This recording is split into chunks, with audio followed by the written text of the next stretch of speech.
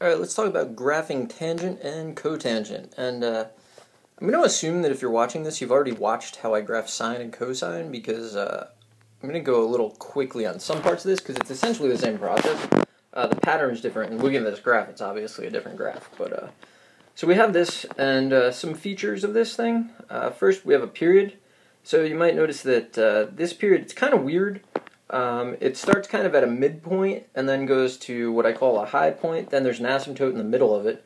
Then there's a low point and back to a middle point, and you kind of fill it in. It looks all weird. Uh, there's a better period that we can use, and the better period is right here. So uh, this is, you know, it's sandwiched between two asymptotes, and you get asymptote, low, middle, high, and then asymptote. That's a much nicer period, so that's the one that we're going to kind of refer to. Um, so there are a couple key features. I just kind of highlighted them for you. So you got an asymptote, and then following the asymptote, what you're going to have is a low point that you're going to plot, then a middle point that you'll plot, um, a high point, and then you'll close off one period with another asymptote. And uh, the low point, middle point, and high point are sort of analogous to the minimum sinusoidal axis and maximum of a sine or cosine graph. Um, and that's going to be important for us. So there's five key things, and that should also kind of ring a bell, uh, because when we were graphing sine and cosine, we had five key things. So let's say we have y equals a, and then tangent of the quantity bx plus c, uh, then plus d, or we could have cotangent of the same stuff. Uh, let's talk about how you compile all the things we need. So uh, we have the period, and this is a major difference. The period for um, tangent and cotangent the uh, natural period is pi. So to find the period of any uh, transformed graph, it's going to be pi over b. So that's a big difference, probably the number one mistake that people make. Um, increment is going to be exactly the same as it was for sine and cosine, so that's going to be the period divided by 4.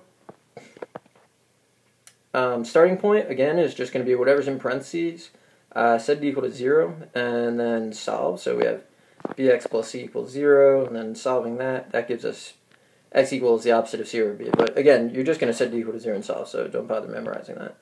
Um, the middle points that we find are actually going to be located at y equals d, and uh, so I'll tell you that's analogous to the sinusoidal axis, so I'm going to put that in quotes, um, and sometimes when I talk about it, I kind of say, where's the sinusoidal axis? I don't really mean that. I mean, where do we put the middle points? Uh, there are high points, and that's going to be at uh, y equals d plus the absolute value of a. So that's the same as how you found the uh, maximum for sine or cosine. And then there are low points. And uh, again, this is really similar to finding the minimum. So it's going to be d minus the absolute value of a. And that'll take you to a minimum, or a, well, that's your low point, but it's like the minimum. Uh, now we need some patterns. So there's different patterns for tangent and cotangent, and um, it's based on whether a is greater than 0 or less than 0. So if a is greater than 0, the pattern for tangent will be middle point, high point, asymptote, low, middle. So starting at the starting point, it's middle, high, asymptote, low, middle. Um, if a is less than 0, it becomes middle, low, asymptote, high, middle. Uh, cotangent has a slightly different pattern, and the pattern is uh, going to be asymptote, high, middle, low, asymptote.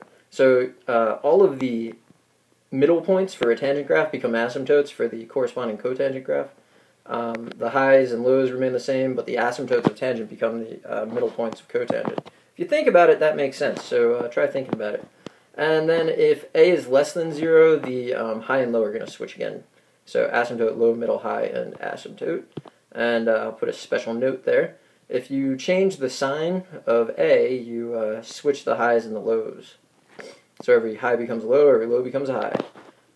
Alright, let's graph one. We're going to graph y equals 2 tangent of the quantity 3x plus pi, and then the whole thing minus 1.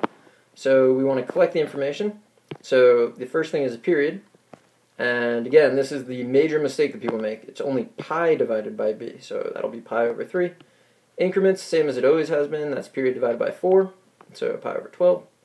Uh, starting point, you take whatever's in parentheses, set it equal to 0, so that'll give me 3x plus pi equals 0, and then obviously that gives you um, negative pi over 3.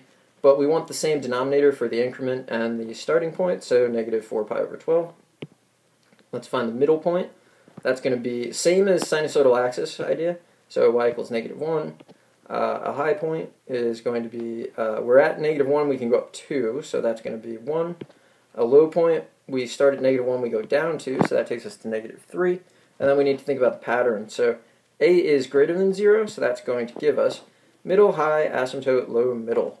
Alright, so what I'll do now is I'm going to set up an x-axis. So uh, skipping ahead a little bit. I put uh, the starting point in the dead center. And now what I do for tangent, uh, if you watch for sine and cosine, I always go two boxes per increment. Tangent graphs look really stupid if you do that. They're too stretched out. So I'm going to go one box per increment, um, but I'm only going to label every other increment. So I uh, went negative 4 pi over 12, I skipped negative 3 pi over 12, went to negative 2 pi over 12, um, negative pi over 12. I didn't put 0 because I'm going to put the y-axis there, and then 2 pi over 12 and 4 pi over 12. And I can go in the other direction pretty much the same way, so let's just fill that out. Uh, I'm going to put in the y-axis, uh, and you know I'm just going to label that up the normal way.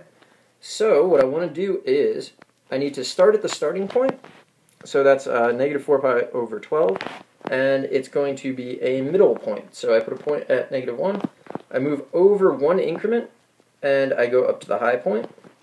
I move over an increment, and I put in a vertical asymptote move over an increment and I'll be at the low point. I move over again and I'm at the middle, the high, another vertical asymptote, and then another low and middle because that's all I can fit. Uh, if I want to go backwards from the starting point, I'm going to go, I start at a middle, I go to a low, then an asymptote, and then it'll be a high, middle, low asymptote. So we're going backwards, and then high, middle would be the next two things, but I didn't bother. Alright, now we got to sketch this in. I never really do a tangent curve in one thing. I kind of sketch it in the way you might have seen an artist kind of sketch. I'm no artist, but uh, the way I've seen artists sketch things in. So uh, I'll do this part right here, and then I'll kind of go down to negative infinity there. Then uh, curve up a little bit there. It kind of looks like you're taking an x cubed graph and just squeezing it between asymptotes. Go up like that. And then kind of finish this off. So just kind of fill in what you can again, just kind of sketch it in. It's a lot harder if you try to go in one shot. Um, and there you go, that's your graph. So let's take a look at one cotangent graph. So y equals negative cotangent of x over 5, and then the whole thing plus 2. So uh, to get the information, we need the period. That's going to be pi divided by 1 fifth, which is 5 pi. The increment is the period divided by 4, so 5 pi over 4. The starting point is just x equals 0, so we have x over 5 equals 0, but that just gives you x equals 0. Um, the middle point is y equals 2. I can go up 1 to get to the high point. I can go down 1 from 2 to get to the low point. And then since a is less than 0 and it's cotangent, the pattern is going to be asymptote, low, middle, high, asymptote. And now I am pretty ready to graph. So what I do is uh, put in the x-axis, kind of mark it up. So since the starting point is 0, I'm just going to put the y-axis in there. Um, and then if I label everything, again, I'm going to go one box per increment, but I'm only going to label every other one because the graph just looks way too crowded otherwise. So to start with, uh, we put in an asymptote. It's kind of dissatisfying, but it's the way it goes. Um, now we're going to go a low point, a middle point, a high point, and an asymptote. And then low, middle. And then if I go in the opposite direction, it's high, middle, low, and then asymptote and uh, I think maybe I want one more. So we go high, middle, low asymptote. So if you're going from left to right, it's asymptote, low, middle, high, asymptote. Just write down the pattern and follow it. Um, and now we want to kind of get our graphs in here. So it's actually a little easier. Uh, the less stretched out the graph is, the easier it is to make. So I fill this in. And uh, there you have it. And just like with secant and cosecant, the graph is really useful for stating the domain. Um, for example, here I know that x can't be 0, and then it can't be 20 pi over 4, so which is just 5 pi. So the domain would be all real numbers except for 0 plus 5 pi times n, where n is an element of the integers. Uh, so I recommend that you take a look at the graph, or at least figure out how to graph before you state the domain, because it's a really useful thing. Um, you also probably would notice right away that a negative cotangent graph looks exactly like a tangent graph. Um, and that's always going to be an issue for us. If we don't have the equation, it's really hard to tell what was originally graphed. Um, but anyway, I hope you found this helpful, and good luck.